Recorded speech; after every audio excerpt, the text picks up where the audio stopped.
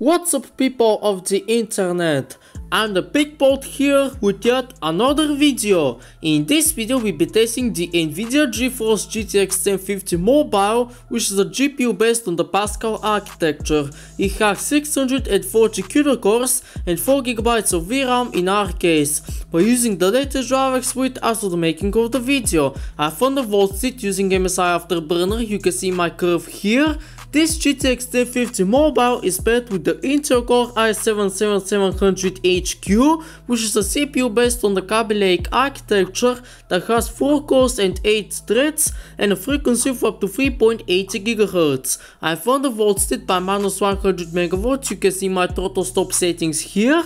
You also have 16GB of RAM in dual channel mode, as well as a 256GB SSD for the operating system and 1TB hard drive on which the game is installed. As for operating system, we're using Windows X Lite Optimum 10 Pro version 2. All the specs are in the video description. The game we'll be benchmarking today is Spider-Man Miles Morales, and let's get straight to the points now.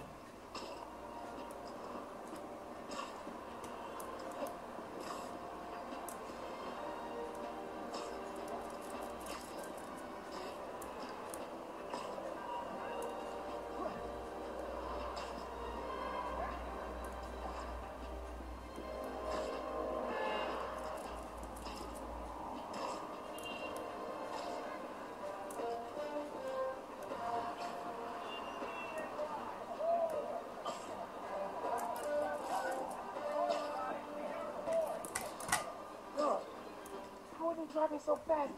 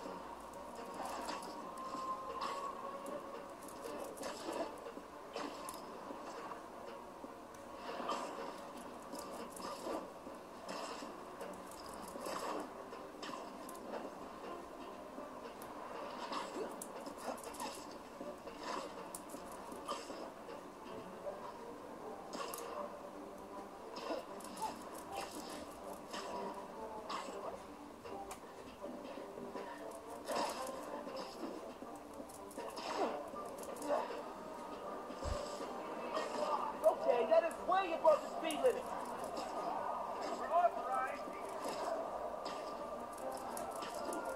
Last one. I'll do better next time.